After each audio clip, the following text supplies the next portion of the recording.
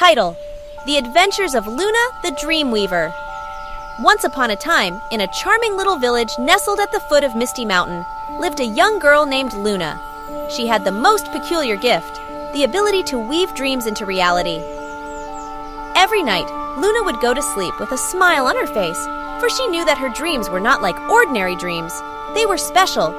As she closed her eyes, her imagination would transport her to magical worlds filled with talking animals, flying ships, and colorful rainbows. One moonlit night, Luna dreamt of a magnificent garden, unlike any she had ever seen before. It was a garden where the flowers danced to the tune of the wind and the trees whispered secrets to the birds. Luna was determined to make this dream come true. The next morning, she tiptoed into her family's garden with a little bag of enchanted seeds.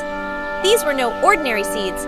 They were a gift from her grandmother, who also possessed the power of weaving dreams. Luna planted the seeds with great care and watered them with love. To her astonishment, the garden began to grow exactly as she had dreamt it. Word of Luna's magical garden spread throughout the village, and soon people from far and wide came to witness its wonders. They marveled at the dancing flowers and the whispering trees, and Luna became known as Luna the Dreamweaver. One sunny afternoon, a young boy named Milo visited Luna's garden.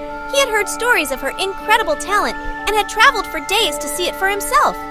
Luna greeted him with a warm smile and invited him to explore her magical world.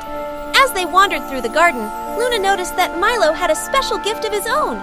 He could communicate with animals in a way that no one else could. Birds sang to him, rabbits hopped playfully around him, and even the butterflies seemed to share their secrets. Luna and Milo soon became fast friends, and they decided to embark on an adventure together. With Luna's dream weaving abilities and Milo's connection to animals, they set out to make the world a better place. Their first stop was the nearby forest, which was in danger of being destroyed by loggers. Luna dreamt of a forest so magnificent that it would take the loggers' breath away.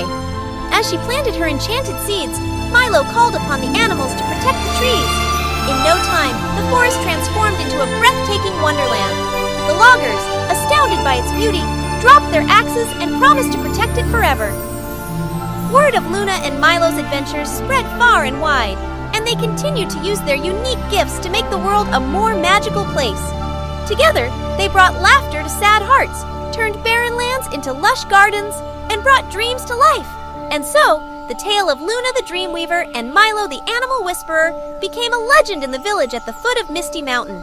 It was a story that taught everyone that with a little imagination, a sprinkle of magic, and the right friends by your side, you could turn dreams into reality and make the world a more wondrous place.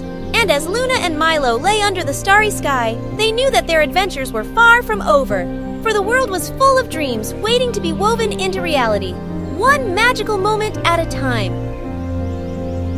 The end. Thank you for watching. Make sure to subscribe and stay tuned for more videos.